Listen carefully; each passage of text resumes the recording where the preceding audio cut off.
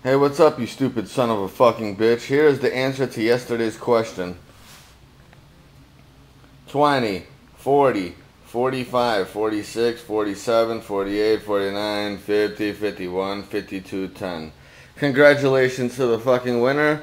Uh, just send me an email and I will fucking do whatever you want me to do in a video. Just no nudity because, like I said, I cannot show my fucking penis on camera because my shit does not zoom in that fucking closely.